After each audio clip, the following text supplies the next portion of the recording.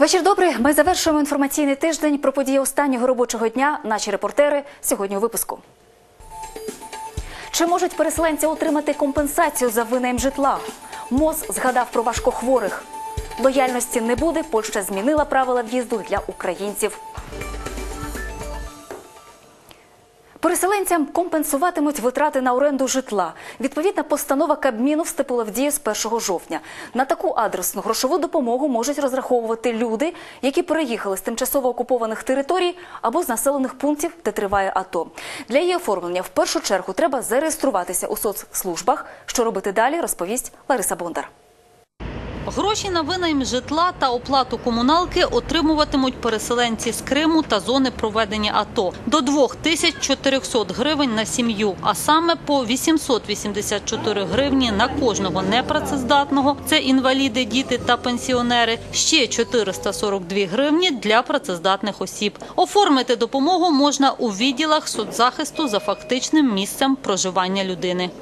Для оформлення зазначених виплат уповноважений представник сім'ї до органу соціального захисту е, подає е, заяву, е, копії свідоцтва про одруження, свідоцтва про народження діток, от довідочку про реєстрацію місця перебування. Та письмову згоду до вільної форми інших членів сім'ї про те, що вони не заперечують, щоб дану допомогу оформляла саме ця особа. Катерина Карпенко одна із перших у Вінниці, хто подав документи на оформлення такої адресної допомоги. Дівчина приїхала з Луганська разом із матір'ю та донькою 11 років. З речей з собою взяли лише те, що змогли привезти в руках. Родину приютили родичі. У них гостюють вже четвертий місяць. Понятное дело, что они очень хорошо к нам отнеслись, все, но в любом случае это же невозможно жить все время у родственников. Планируем, да, снимать жилье, как-то решать этот вопрос. У Вінниці Катерина вже влаштувалась на роботу. Місце знайшла відповідно до фаху та освіти. Донька дівчини ходить до школи. Повертатися до рідного Луганська родина наразі не планує. Я хочу жить в Украине, хочу, потому что люблю Украину. Вот. Я патриот своей страны, хочу, чтобы ребенок у меня жил в Украине, любил свою страну. Сьогодні у Вінниці більше тисячі вимушених переселенців. Щомісячна адресна допомога на оплату житла призначається від дня звернення та виплачується впродовж шести місяців. І лише тим людям, які стоять на обліку у органах соціального захисту населення. Довідка е, про те, що людина взята на облік як особа, що переміщена з зони антитерористичної операції або з тимчасово окупованої території, е, громадяни можуть отримати одразу ж того дня, коли вони звернулися до органів соціального захисту. Коли вони будуть мати на руках таку довідку на себе, на членів своїх сімей, е, вони можуть цього ж дня і звернутися за призначенням е, адресної грошової допомоги. Компенсація на винайм житла виплачується готівкою. Її перераховують на соціальний рахунок особи переселенця, відкритий у будь-якому відділенні банку. Лариса Бондар, Вадим Інжиєвський. Новини телеканал Віта. Ліки важкохворим будуть. Міністерство охорони здоров'я нарешті вирішило питання із закупівлею.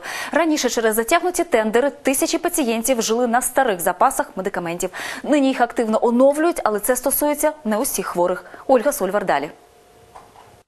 Нарешті дочекались майже півмільярда гривень на закупівлю ліків для важкохворих пацієнтів розблоковано. У Мінохорони здоров'я запевняють, що рекордними темпами освоюють гроші. Раніше в Україні відомство катастрофічно затягнуло з проведенням тендерів на закупівлю медикаментів. В результаті тисячі хворих людей опинилися фактично на межі смерті. У мозі кажуть, ліки вже закупаються. На сьогоднішній день з 500 мільйонів, які були заблоковані, 420 розблоковано. Тобто практично все те, що було. Та далеко не всі пацієнти відчують покращення. Досі немає препаратів для онкохворих людей. Мы видим критическую ситуацию по некоторым, например, препаратам. Есть еще остатки, которые за прошлый год закупки идут. А, Если это затянется, ну, вы сами поймите, если это в этом году мы не решим, не используем эту сумму по тендерным закупкам детской онкологии, ее просто не будет. Она не перейдет на следующий год. Нагадаємо, уряд дав новому очільнику Мінохорони здоров'я три тижні на закупівлю ліків. Термін спливає 21 жовтня. А от чому тендери раніше провалили, буде з'ясовувати генпрокуратура. Ольга Сольвар, новини, телеканал Віта. Українцям стало складніше отримати шенгенську візу. Польща змінила правила видачі дозволів на в'їзд, і відтепер для отримання короткотермінової бізнес-візи заявникам доведеться подавати додаткові документи. Йдеться про довідку з роботи, яка підтверджує вид діяльності, виписку банку про наявність грошей на рахунку, а також про документи, які засвідчують в шенгенській зоні подорожуючий має де зупинитись, скажімо, у заброньованому номері готелю. Зазначимо, раніше польські дипломати робили виняток для українців, тоді як від громадян інших країн таки вимагали вищеназвані документи. Така лояльність влітку призвела до колапсу системи видачі віз. Ну, а ми рухаємось далі. Наступні теми ефіру такі. Контроль над народними обранцями. Не так паркуєшся, значить окупант. Пристрасті в раді підприємців. Боротися з корупцією, захищати права людей та наблизити виборче законодавство України до європейських стандартів. Меморандум з переліком таких вимог по всій країні підписують політпартії та мажоритарні кандидати в депутати. Прозорість роботи майбутньої Верховної Ради контролюватиме коаліція громадських організацій України. Саме вони ініціювали створення такого документу, аби виборці бачили наскільки чесними є ті, кому вони довірили своє майбутнє. Ірина Дідух продовжить. Підтримати в майбутньому парламенті першочергові для країни законопроекти зголосились вінницькі кандидати в депутати. Відповідний меморандум вони підписали з коаліцією громадських організацій України. Її активісти слідкуватимуть за тим, як народні обранці дотримуватимуться своїх передвиборчих обіцянок. Е, Хто з нами підписав уже цей меморандум? Я зараз оголошую партії. Е, Це громадянська позиція, це Народний фронт, це блок Юлії Тимошенко, Батьківщина і це Свобода. На сьогоднішній день ми передали документи в самопоміч, ще передали е, самопомічі е, до, до радикальної партії та до опозиційного блоку. Активісти коаліції моніторитимуть кожне засідання ради, слідкуватимуть, чи підтримують депутати законопроекти щодо боротьби із корупцією, захисту прав людини та прозорості фінансування політсил. Щоправда, кожна з партій в меморандум може внести свої пропозиції та зауваження. Приміром, у народному фронті вже відмовилися підтримувати положення Римського статуту. кажуть, є побоювання, що Росія може використати цей документ, так як це відбувається з вояками грузинської армії, котра в 2008 році відбивала наступ росіян. Вони намагаються подати через Римський статут і засудити офіцерів грузинської армії, які воювали. Да? І відповідно є загроза для наших вояків, які захищають інтереси України да?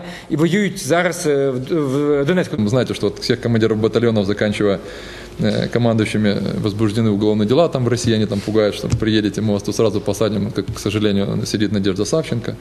Відповідати за вчинки муситиме не лише партія, а й кожен мажоритарний кандидат, зазначають активісти. Тому їздять від міста до міста, спілкуються з висуванцями та з кожним підписують меморандум.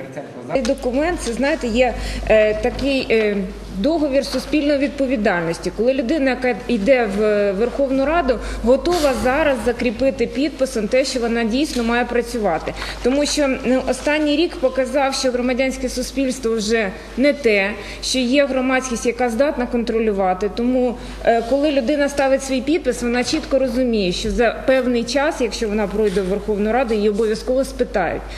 А відповідатимуть депутати передусім перед громадськістю, зазначають активісти коаліції. Оприлюднюватимуть результати кожного голосування, аби виборці бачили, кому віддали повноваження представляти їхні інтереси в парламенті та наскільки чесним є їхній обранець. Ірина Дідух, Олег Літвінцев, новини телеканал Віта. Українці стали менше довіряти ЗМІ. Такі висновки зробили в інституті соціології Академії наук України за результатами проведеного опитування. За роки незалежності вперше рівень недовіри до медіа перевищує рівень довіри, говорять експерти інституту. Так, у минулому році 37% українців вірили тому, що пишуть в газетах та показують на телебаченні, а 29% – ні. За рік ситуація кардинально змінилась. Рівень довіри до медійників впав до 25%, а недовіри навпаки навпаки зріс майже до 50. При цьому на заході країни змі вірять більше ніж на сході.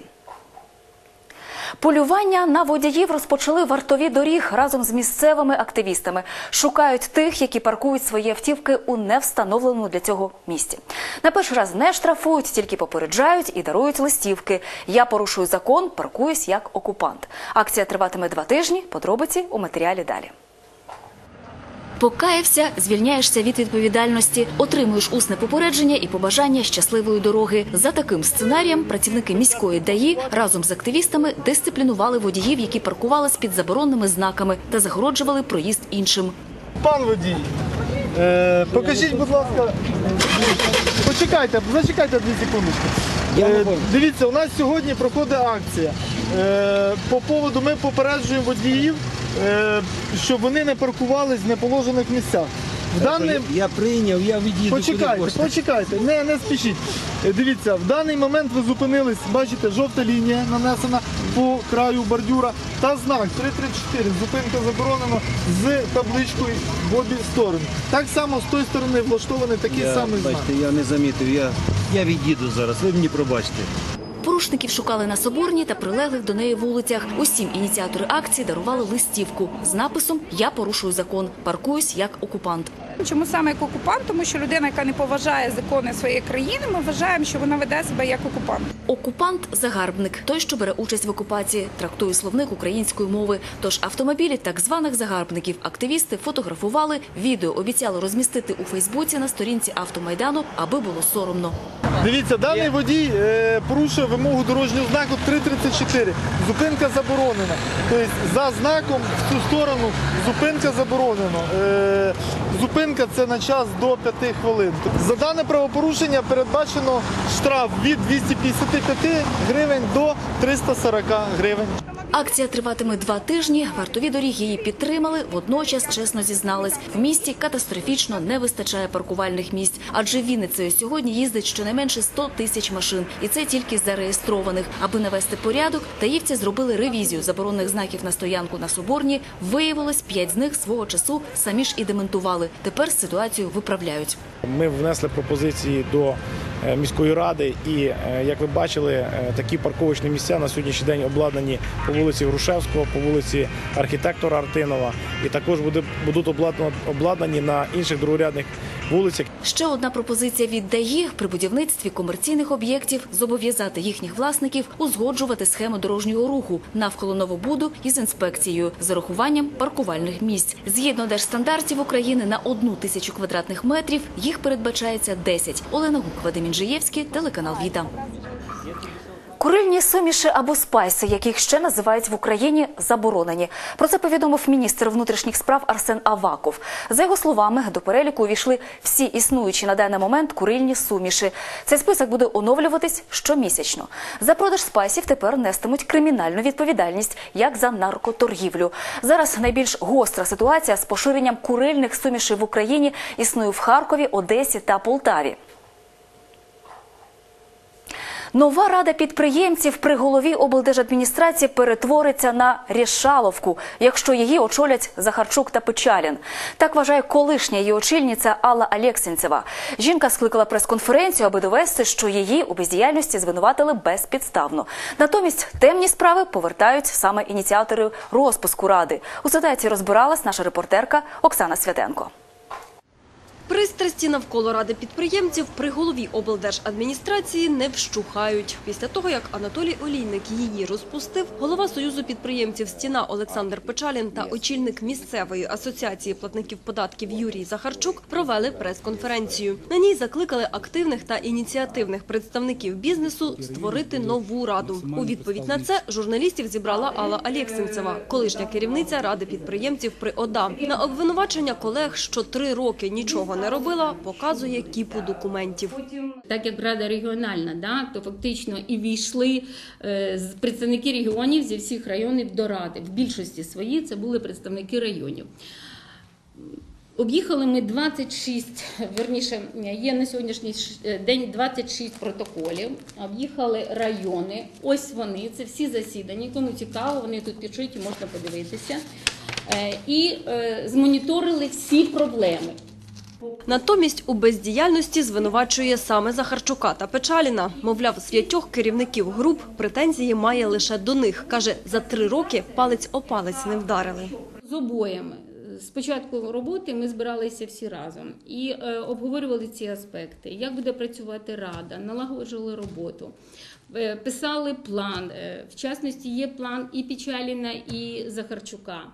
Е, Детально можете навіть їх зняти. По печалі ні один пункт не виконаний, хоча мав би бути виконаний ще на 12 рік, на 13 перенесений так само. Е, Захарчук теж. Крім того, активістка хвилюється. Якщо Захарчук та Печалін очолять нову раду, вона перетвориться на рішаловку. Мовляв, останній за свої послуги бере гроші. Як доказ показує документи. Сам Олександр Печалін цього і не заперечує. Каже, все законно. Фізична особа-підприємець має право надавати платні послуги, а з бізнесменами заключав договори. Щоправда, зізнається, ради підприємців це, хоч і не прямо, та стосувалось. Ко мне обратились э, как к человеку, который может продумать э, план да, э, для того, чтобы привести к решению тех задач, которые были поставлены.